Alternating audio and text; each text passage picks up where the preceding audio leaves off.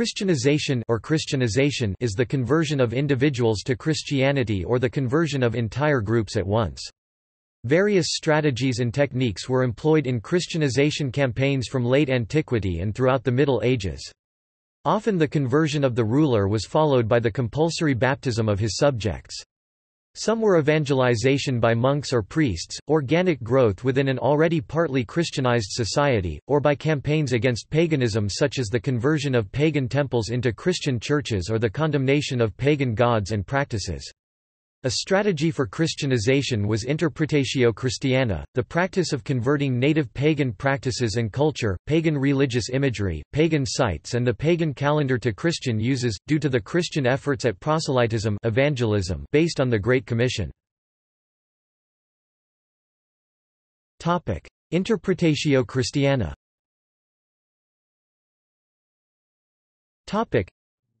Reformatting native religious and cultural activities and beliefs into a Christianized form was officially sanctioned, preserved in the Venerable Bede's Historia Ecclesiastica Gentis Anglorum as a letter from Pope Gregory I to Mellitus, arguing that conversions were easier if people were allowed to retain the outward forms of their traditions, while claiming that the traditions were in honor of the Christian God to the end that, whilst some gratifications are outwardly permitted them, they may the more easily consent to the inward consolations of the grace of God. In essence, it was intended that the traditions and practices still existed, but that the reasoning behind them was altered. The existence of syncretism in Christian tradition has long been recognized by scholars, and in recent times many of the instances of syncretism have also been acknowledged by the Roman Catholic Church. Since the 16th century until modern days, significant scholarship was devoted to deconstruction of Interpretatio Christiana, i.e., tracing the roots of some Christian practices and traditions to paganism. Early works of this type have tended to be downplayed and even dismissed as a form of Protestant apologetics aimed at purification of Christianity. Topic: Early Christianity Ante-Nicene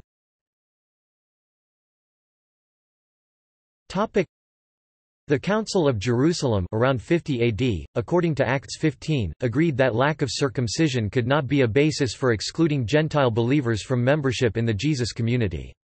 Rather, they instructed new believers to avoid pollution of idols, fornication, things strangled, and blood. KJV, Acts chapter 15 verses 20 to 21, expecting them to hear Moses read on the Sabbath days. These clarifications were put into writing, distributed KJV, Acts chapter 16 verses 4 to 5 by messengers present at the council, and were received as an encouragement to the growth of these Gentiles' trust in the God of Israel as revealed in the Gospel. The apostolic decree thus helped to establish nascent Christianity as a unique alternative among the forms of Judaism for prospective proselytes. The Twelve Apostles and the Apostolic Fathers initiated the process of transforming the originally Jewish sect into a diaspora of communities composed of both Jews and Gentiles, united by their trust in Jesus. The Armenian, Georgian and Ethiopian churches are the only instances of imposition of Christianity by sovereign rulers predating the Council of Nicaea. The initial conversion of the Roman Empire occurred mostly in urban areas of Europe, where the first conversions were sometimes among members of the Jewish population. Later conversions happened among the Grecian Roman Celtic populations over centuries, often initially among its urban population, with rural conversions taking place some time later. The term, pagan, is from Latin and means, villager, rustic, civilian. It is derived from this historical transition. The root of that word is present in today's word, paisan, or paisano. Topic: Late antiquity 4th–6th centuries Topic: the Christianization of the Roman Empire is typically divided into two phases, before and after the year 312, which marked the momentous conversion sincere or not debated for centuries of Constantine. By this date, Christianity had already converted a significant but unknown proportion of at least the urban population of the empire including a small number of the elite classes.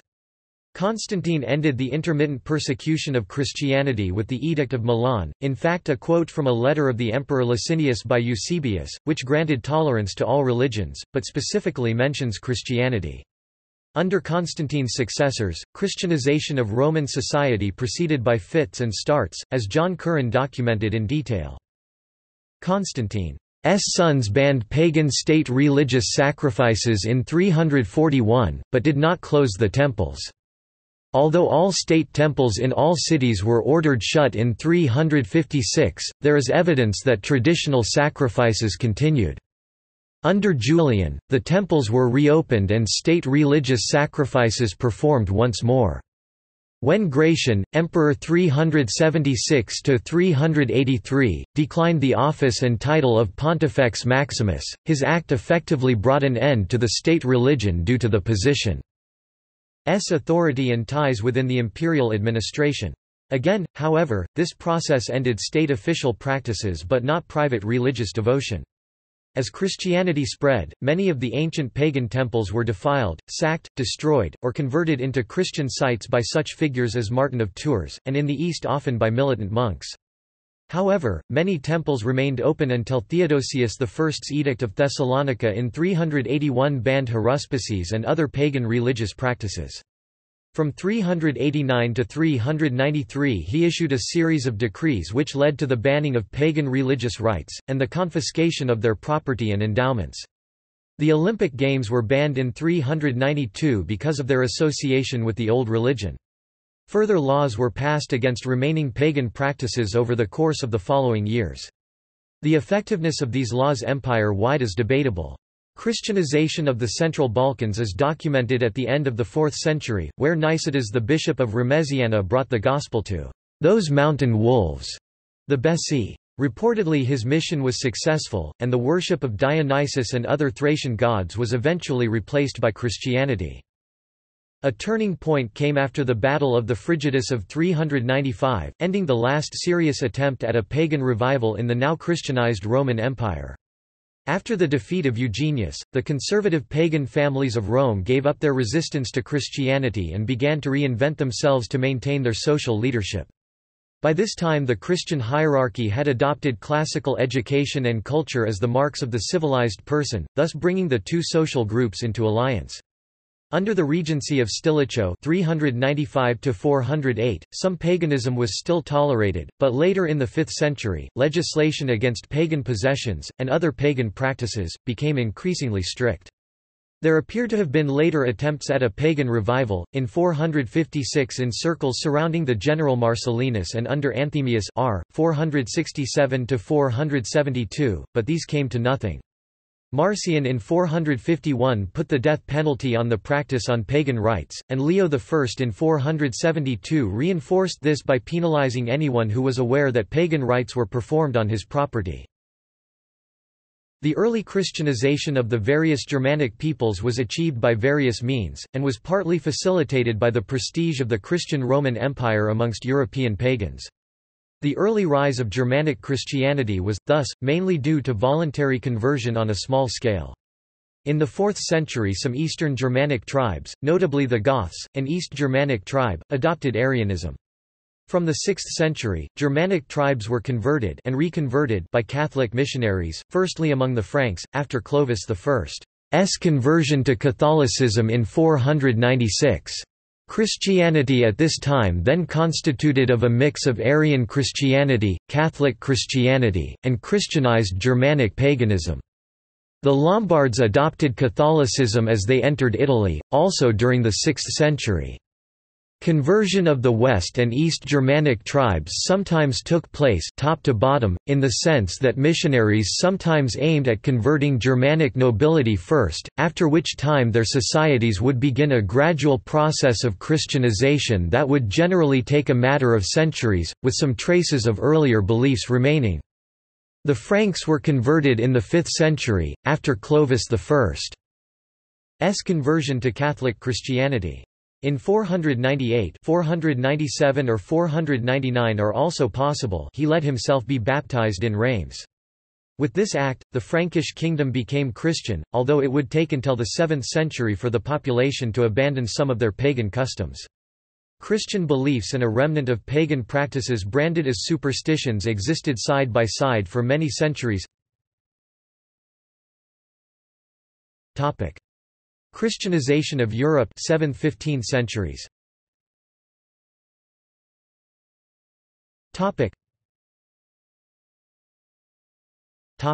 Great Britain and Ireland. In most of Britain, the native Britons were already partly Christianized by the time of the Anglo-Saxon settlement of Britain, it is not clear how thorough this process had been. Ireland, and parts of Scotland, had been converted by the Romano-British Christians, led by St. Patrick. However, ecclesiastics of the time such as the British Gildas and later Anglo-Saxon Bede, criticised them for generally refusing to work at all for the conversion of the Anglo-Saxons, in fact many were absorbed into the religion and culture of the new settlers. The conversion of the Anglo-Saxons was begun at about the same time at the far north and south of the Anglo-Saxon kingdoms in two unconnected initiatives. Irish missionaries led by Saint Columba based in Iona from 563 and elsewhere, converted many Picts. The court of Anglo-Saxon Northumbria, and the Gregorian mission, who landed in 596, did the same to the Kingdom of Kent. They had been sent by Pope Gregory I and were led by Augustine of Canterbury with a mission team from Italy. In both cases, and in other kingdoms, the conversion was generally top-down with the royal family and nobility adopting the new religion first. The Viking invasions of Britain and Ireland destroyed many monasteries and new Viking settlers restored paganism—though of a different variety to the Saxon or classical religions—to areas such as Northumbria and Dublin for a time before their own conversion. Frankish Empire the Germanic peoples underwent gradual Christianization in the course of the early Middle Ages, resulting in a unique form of Christianity known as Germanic Christianity that was frequently some blend of Arian Christianity and Germanic paganism. The eastern and western tribes were the first to convert through various means.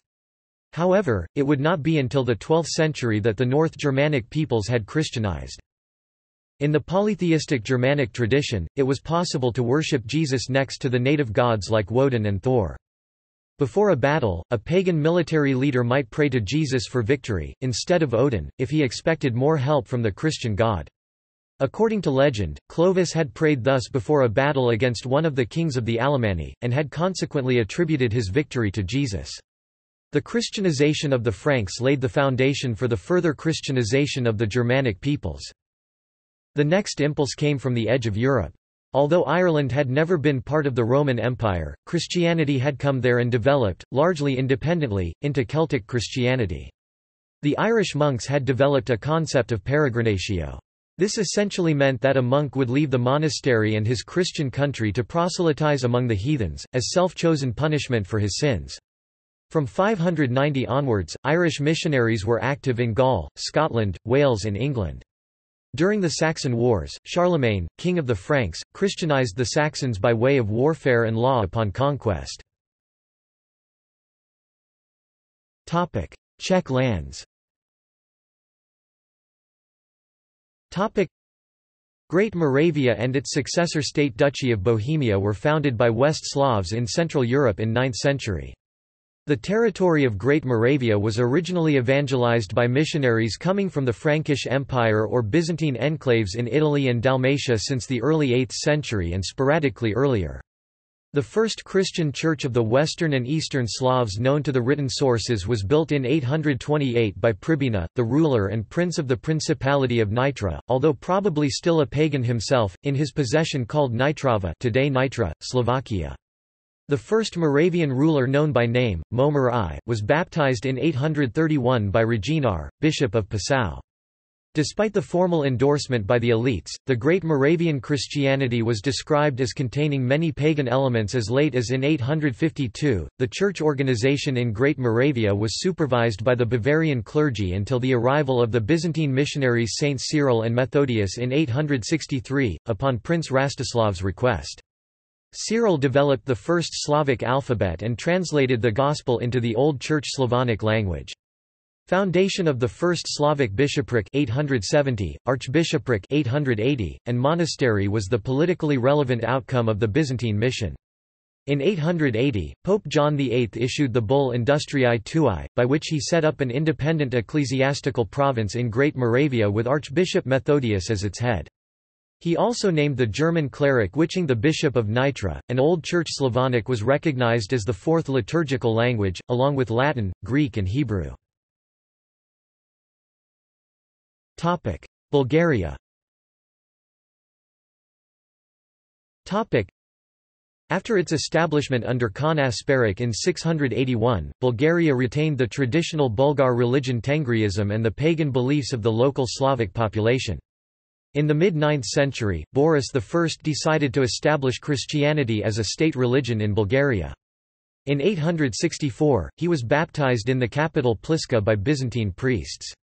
After prolonged negotiations with both Rome and Constantinople, he managed to create an autocephalous Bulgarian Orthodox Church and used the newly created Cyrillic script to make the Bulgarian language the language of the Church.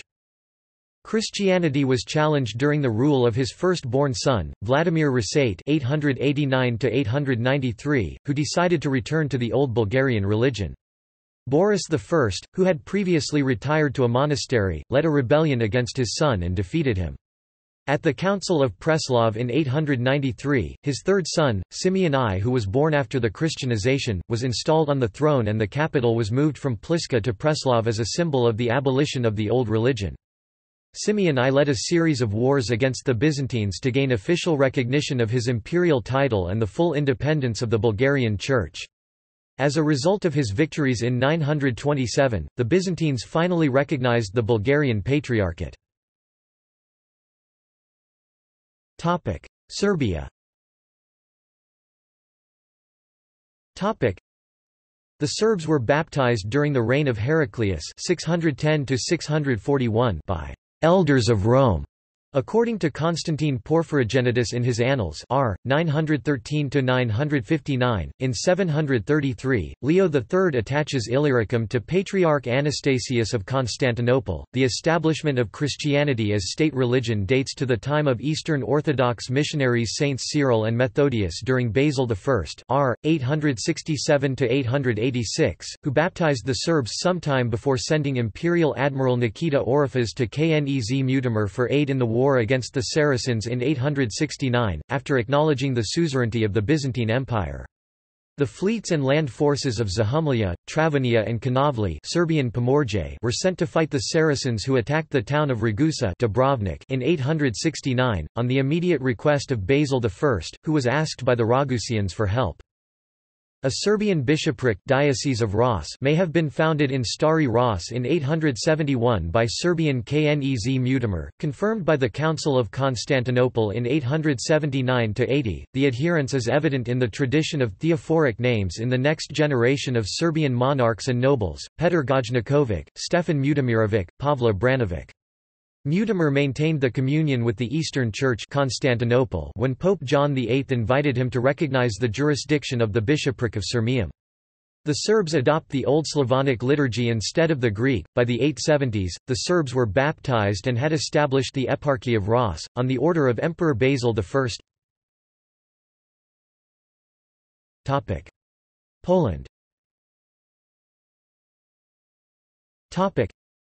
The Baptism of Poland Polish, Chrzest Polski in 966, refers to the baptism of Mieszko I, the first ruler of a future united Polish state. His baptism was followed by the building of churches and the establishment of an ecclesiastical hierarchy. Mieszko saw baptism as a way of strengthening his hold on power, with the active support he could expect from the bishops, as well as a unifying force for the Polish people. Mieszko's action proved highly successful because by the 13th century, Roman Catholicism had become the dominant religion in Poland. Hungary in the Middle Ages, the Kingdom of Hungary which was larger than modern-day Hungary was Christianized initially by Greek monks sent from Constantinople to convert the pagan Hungarians. In 950, the tribal chief, Gyula II of Transylvania, visited Constantinople and was baptized. Gyula also had his officers and family baptized under the Orthodox confession. The conversion of the Hungarian people was not completed until the reign of Gyula's grandson, King Stephen I of Hungary. Stephen was the son of Grand Prince Geza of Hungary and Sarolt, the daughter of Gyula II.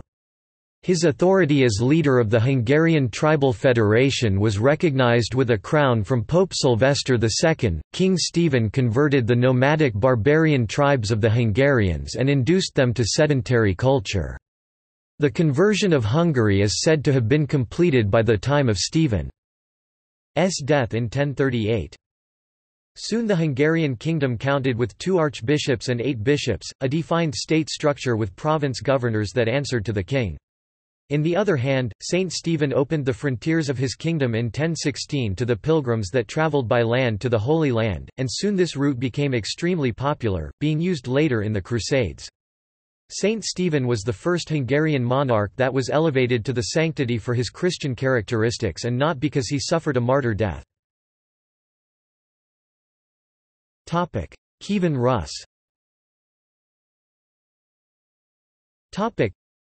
between the 8th and the 13th century, the area of what now is European Russia, Belarus and Ukraine was settled by the Kievan Rus. An attempt to Christianize them had already been made in the 9th century, with the Christianization of the Rus. Khaganate. In the 10th century, around 980, the efforts were finally successful when Vladimir the Great was baptized at Chersonesos. To commemorate the event, Vladimir built the first stone church of Kievan Rus, called the Church of the Tithes, where his body and the body of his new wife were to repose. Another church was built on top of the hill where pagan statues stood before. Scandinavia the Christianization of Scandinavia started in the 8th century with the arrival of missionaries in Denmark and it was at least nominally complete by the 12th century, although the Samish remained unconverted until the 18th century. In fact, although the Scandinavians became nominally Christian, it would take considerably longer for actual Christian beliefs to establish themselves among the people. The old indigenous traditions that had provided security and structure since time immemorial were challenged by ideas that were unfamiliar, such as original sin, the Immaculate Conception, the Trinity and so forth. Archaeological excavations of burial sites on the island of Lovön near modern-day Stockholm have shown that the actual Christianization of the people was very slow and took at least 150 to 200 years, and this was a very central location in the Swedish kingdom. 13th-century runic inscriptions from the bustling merchant town of Bergen in Norway show little Christian influence, and one of them appeals to a Valkyrie. At this time, enough knowledge of Norse mythology remained to be preserved in sources such as the Eddas in Iceland. Baltic The Northern Crusades or Baltic Crusades were crusades undertaken by the Catholic kings of Denmark and Sweden, the German Livonian and Teutonic military orders, and their allies against the pagan peoples of northern Europe around the southern and eastern shores of the Baltic Sea. Swedish and German campaigns against Russian Eastern Orthodox Christians are also sometimes considered part of the Northern Crusades. Some of these wars were called Crusades during the Middle Ages, but others, including most of the Swedish ones, were first dubbed Crusades by 19th-century Romantic nationalist historians. Lithuania and Samogitia were ultimately Christianized from 1386 until 1417 by the initiative of the Grand Duke of Lithuania Jogaila and his cousin Vytautas. Reconquista between 711 to 718 the Iberian Peninsula had been conquered by Muslims in the Umayyad conquest of Hispania. Between 722 see, Battle of Covadonga and 1492 see, the conquest of Granada the Christian kingdoms that later would become Spain and Portugal reconquered it from the Moorish states of Al-Andalus. The notorious Spanish Inquisition and Portuguese Inquisition were not installed until 1478 and 1536 when the Reconquista was already mostly completed. Topic: Colonial era 16th–19th centuries. Topic. Topic: Colonies in the Americas, Africa, Asia and Pacific.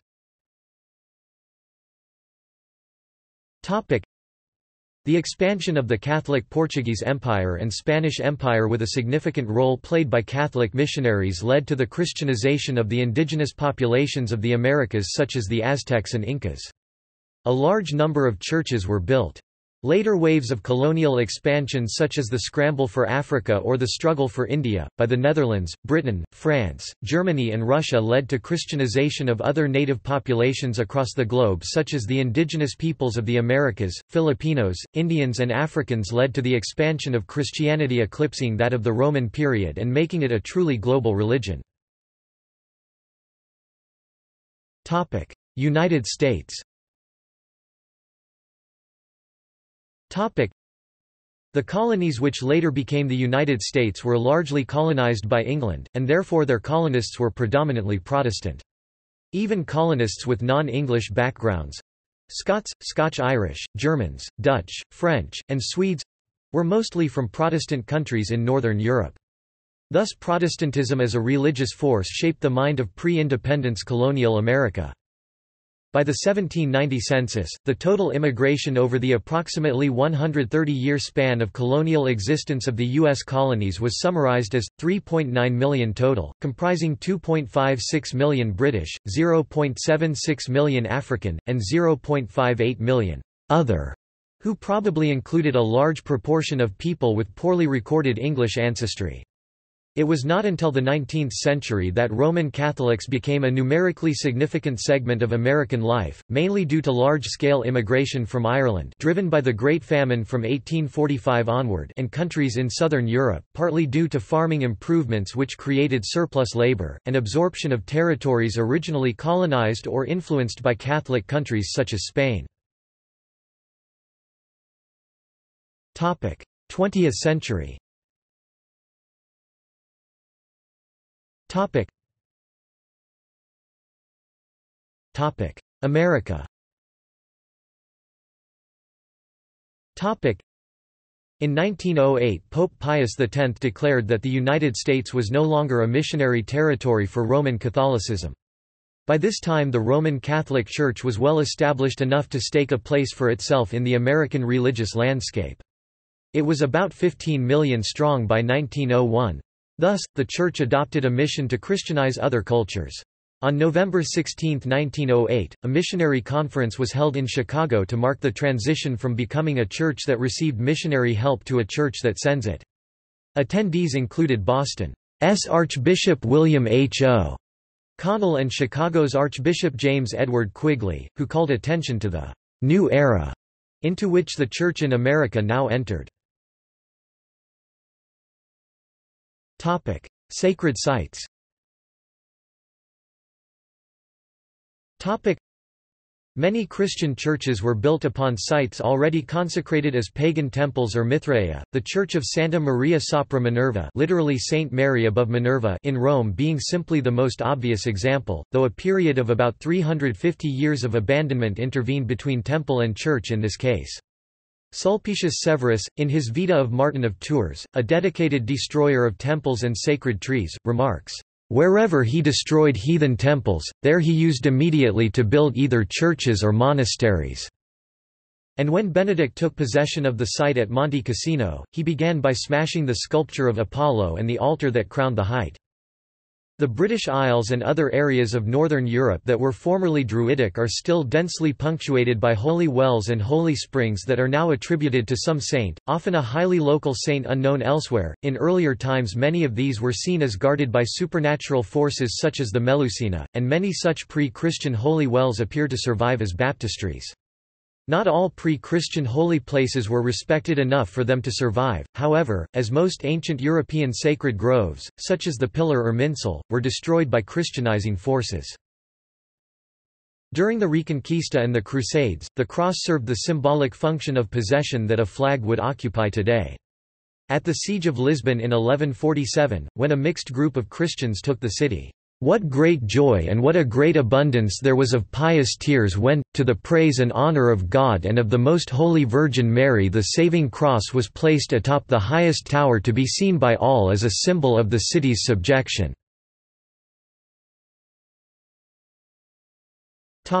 Myths and imagery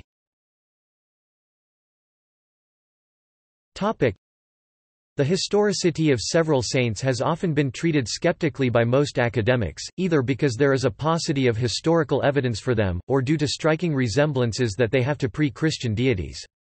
In 1969 the Roman Catholic Church removed some Christian saints from its universal calendar and pronounced the historicity of others to be dubious. Though highly popular in the Middle Ages, many of these saints have since been largely forgotten, and their names may now seem quite unfamiliar. The most prominent amongst these is Saint Eustace, who was extremely popular in earlier times, but whom Laura Hibbard sees as a chimera composed from details of several other saints. Many of these figures of dubious historicity appear to be based on figures from pre-Christian myth and legend. Saint Sarah, for example, also known as Sarah la Kali, is thought by Ronald Lee to be a Christianization of Kali, a Hindu deity. Topic: Symbolism.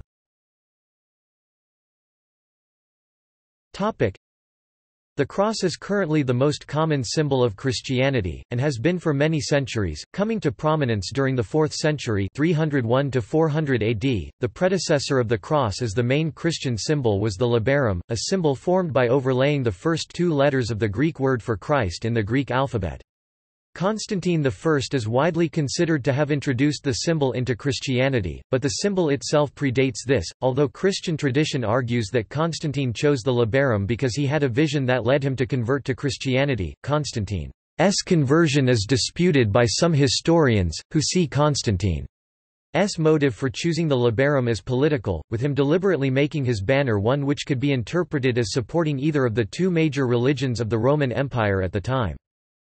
Prior to the labarum, the main Christian symbol, and the earliest, was a fish-like symbol now known as ichthys the Greek word for fish. The Greek word ichthys is an acronym for the phrase transliterated as Isou Christos Theos Soteras, that is, Jesus Christ, God's Son, the Savior. There are several other connections with Christian tradition relating to this choice of symbol, that it was a reference to the feeding of the multitude, that it referred to some of the apostles having previously been fishermen, or that the word Christ was pronounced by Jews in a similar way to the Hebrew word for fish though nuna is the normal Aramaic word for fish, making this seem unlikely. See also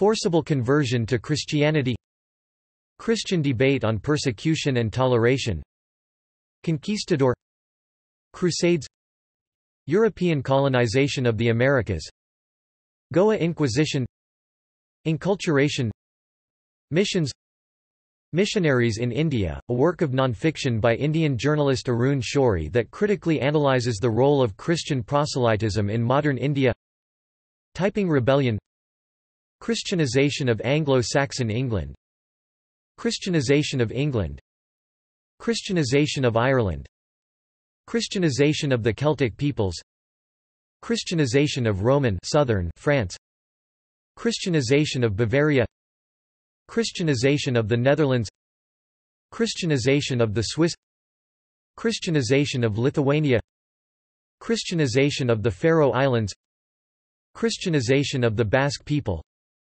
Christianization of Iceland Christianization of Scandinavia Christianization of Finland Christianization of Kievan Rus Christianization of the Rus Khaganate Christianization of Poland Christianization of Bulgaria Christianization of Armenia Christianization of Goa Christianization of Tongan Other religions Islamization Judaization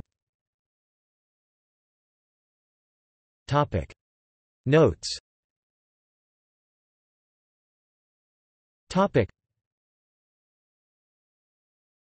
Topic. References Topic. Balmer, Randall 2001. Religion in Twentieth Century America. ISBN 0-19-511295-4. Curran, John Chapter 2000. Pagan City and Christian Capital, Oxford ISBN 0-19-815278-7. Reviewed by Fred S. Kleiner in Bryn Mawr Classical Review 20 Fletcher, Richard, The Conversion of Europe. From Paganism to Christianity 371-1386 AD. London 1997. Gaustad, Edwin Scott, Noll, Mark 2003. A Documentary History of Religion in America since 1877. ISBN 0-80-282230-4. Kaplan, Steven 1984 Monastic Holy Man and the Christianization of Early Solomonic Ethiopia in series Studien zur Kulturkunde ISBN 3-515-03934-1 Kerényi, Carl, Dionysus, Archetypal Image of Indestructible Life 1976.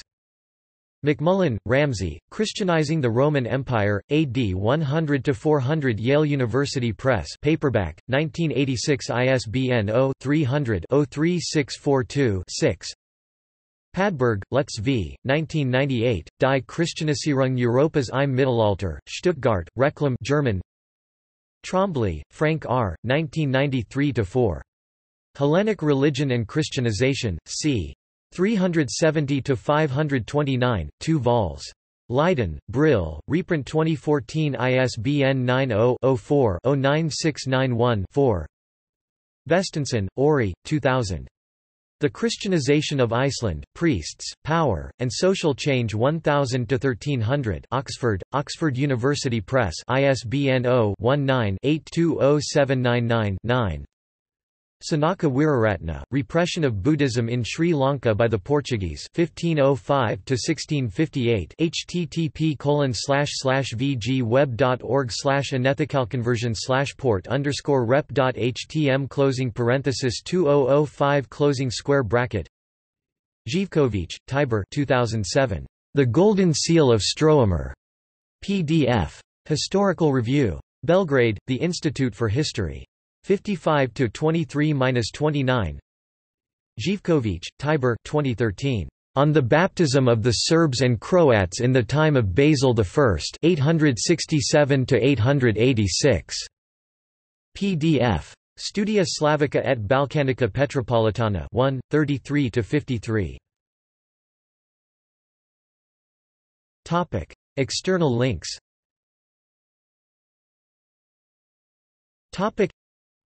Jorge Quiroga and Monica R. Lovelle. Ciudades Atlánticas en Transición, La Ciudad. Tardo Antigua y Alto Medieval en el noroeste de la Península Ibérica S. v. 11. From Archaeologia Medieval Volume XXVII 1999, pp 257–268 Christianizing late antique Roman sites from the 6th century onwards. Unilineal descent groups and deep Christianization, a cross-cultural comparison